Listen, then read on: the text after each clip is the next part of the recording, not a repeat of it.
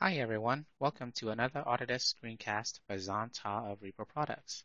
This screencast will showcase how to create a custom ceiling-based generic family. If you like this video and would like to see more, please search for Dzan Ta or VAR2016. Thanks for watching. Here I am in Autodesk Revit 2017 under the Recent Files window. If I click New under Families and scroll down, there is a section for generic model creation content. And the one we're going to work with is generic model ceiling based. We'll click open and you'll notice you have two reference planes that define origins. So that insertion point intersection is right here. And you have an object that's acting as a ceiling, if you will.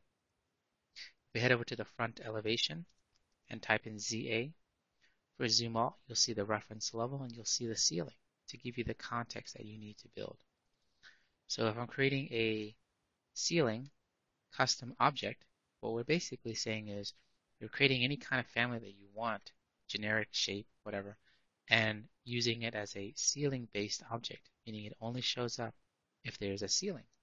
So let's say, for example, we create a custom piece of decoration that we're putting up on the ceiling. Uh, let's use the extrusion command and we'll keep it simple we use the line tool and we'll do something interesting like this. And we'll trim the corner, clean this up. And then we'll use the pick method with an offset, say one inch offset. And we'll do this. We'll head over to the front elevation and finish it and change it to shaded mode. We'll select that object, pull it up so that it aligns and locks to that ceiling, and then pull the bottom down. If we need to, we can create a reference plane that defines the bottom of that object, and we can set up a dimension that controls the thickness of that particular object. So we're going to say um, extrusion thickness like so. Then we'll take this object and align and lock the face of the bottom to that and hold it. If we look at this in 3D, we can see that it's a custom shape like so. So how do we use it in a project? All we need to do is save the file and we'll call it custom generic model ceiling based one hit save, and now we can load it into a project. So we'll say new project, architectural is fine. But head over to the ceiling view, plan view, level one, and we have to create a ceiling. So I'll use the ceiling command, and since we have no objects that are room bounding, we can't use automatic ceiling method. We have to use sketch ceiling method.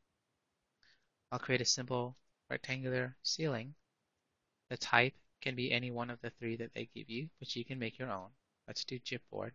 Oh, by the way, if you're using the gyp board, make sure under the preview, under the structure, and the material for gypsum wallboard, that actually has a surface pattern. By default, they don't have it assigned.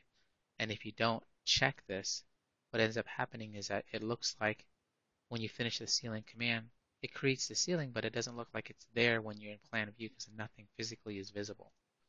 So I'm going to change that pattern um, so you can see it and hit the green check mark. Now if I go and I zoom in, you can start to see that gyp board pattern. And if I shade it, there you go. That's your simple ceiling. How do I take that generic model ceiling-based custom family that we created earlier and use it in this project? We'll do Control Tab on the keyboard to toggle back to that family and load it into the project. Now that it's in the project, you see that I'm, I'm still in level 1 floor plan and won't let me place it because I don't have a ceiling and it can't see the ceiling. So I'll switch to the ceiling. I'll go back to families and I'll go to generic models. And we'll right click the one that we made and say create an instance. Now you notice it automatically knows to be hosted by that ceiling. So I can create as many as I want for some kind of decorative design. And if we head over to a 3D view and look underneath, we can start to see our design. Um, and then lastly, since this is something very decorative, Let's jump back over to the family. Let's select that object and give it some material. And so we'll assign it a material parameter, and we'll call it decorative material.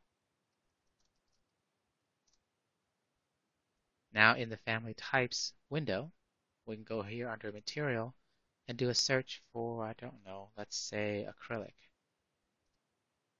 We don't have one in the family, but we do have it in the actual Revit um, library system.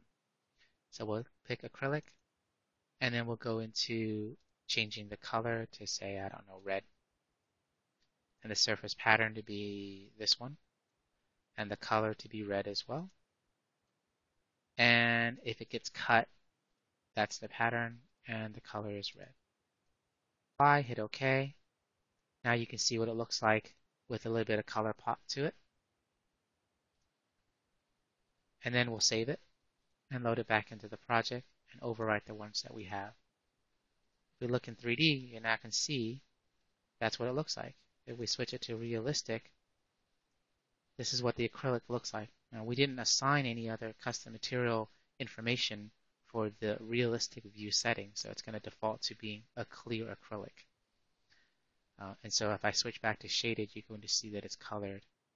And that's it. That's how you create a custom generic model ceiling based family. Thanks for watching.